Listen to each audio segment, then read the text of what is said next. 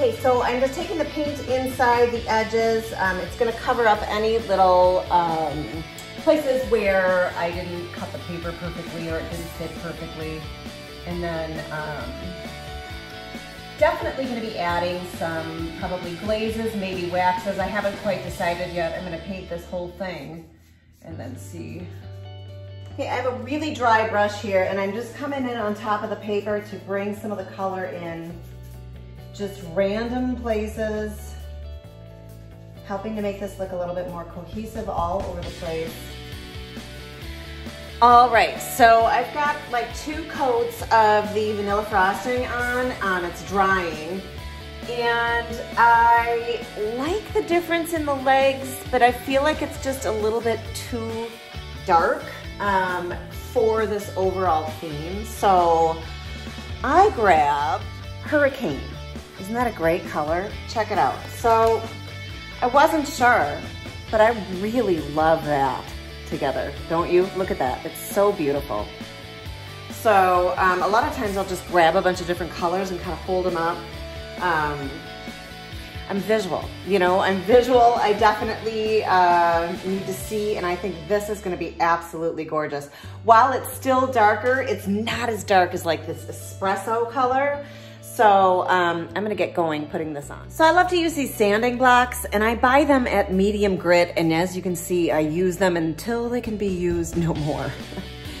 this paint is so easy to sand. I can choose, you know, many different ways to do it. You can wet sand, you can use one of these, um, or you can use um, like a steel wool. So a couple different ways. I'm gonna use this and um, just start giving it a little bit more uh, character and dimension.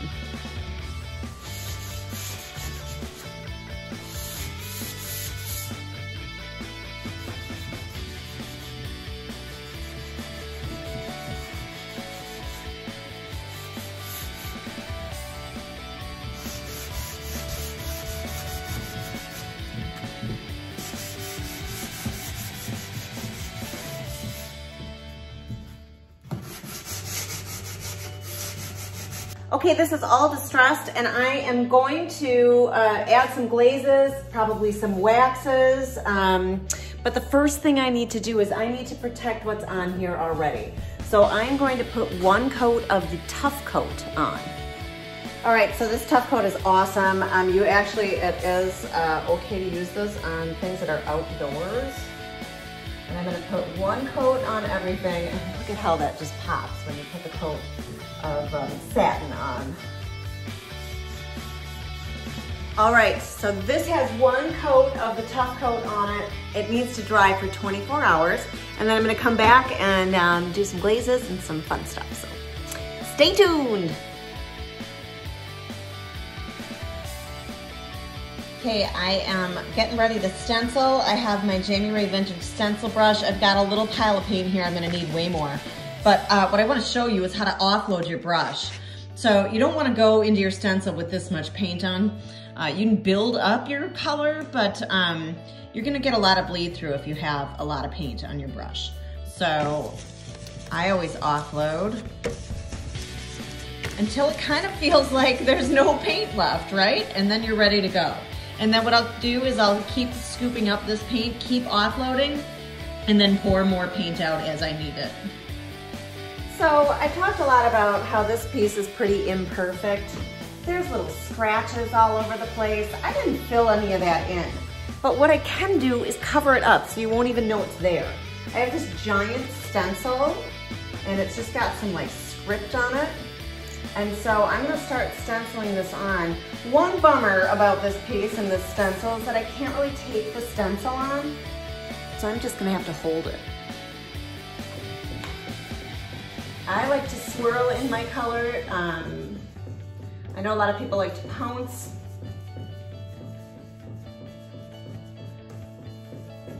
I like swirling because it kind of always is pressing the stencil down. When you're pouncing, the stencil has a chance to pop up and go back, especially when it's not taped. So that's why I like to swirl.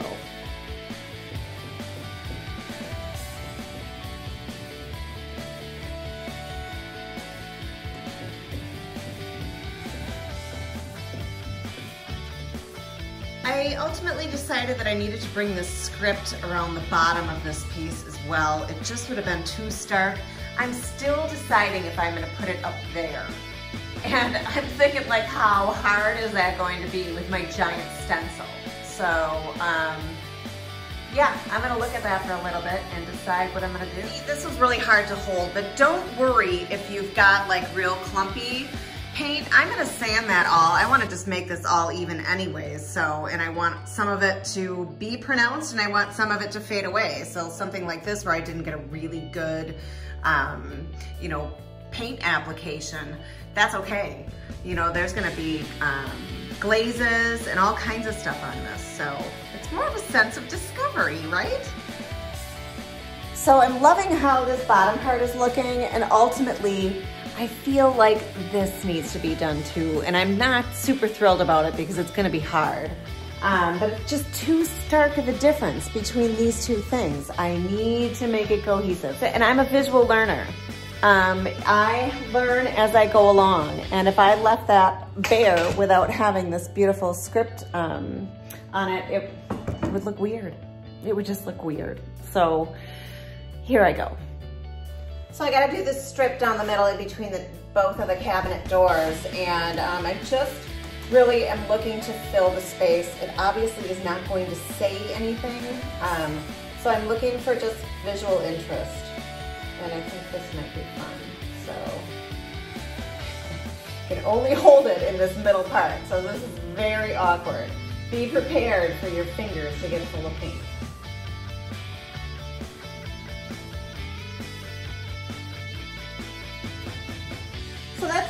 I'm gonna let that dry for a minute and then I'm gonna try to figure out how on earth I'm going to get a stencil in this really, really deep curve here. So come along with me. Okay, back at it, friends. Uh, I don't really have a plan here. I'm just gonna improvise.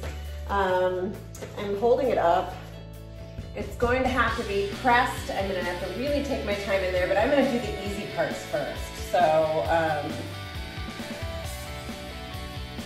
again, don't worry if this comes out, you know, whatever your idea of perfect is. You can sand it. Um, there's all sorts of little tricks that you can use.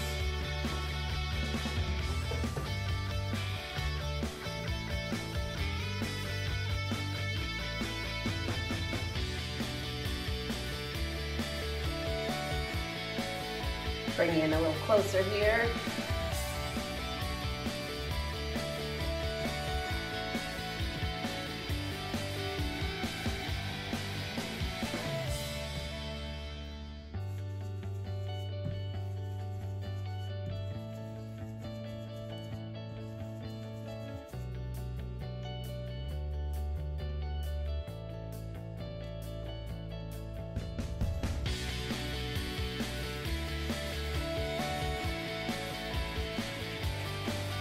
So this area here, the stencil is not really even touching the flat surface.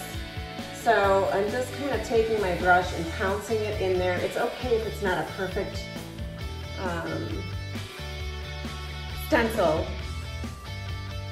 Some of that's going to be covered up too with the cabinet doors.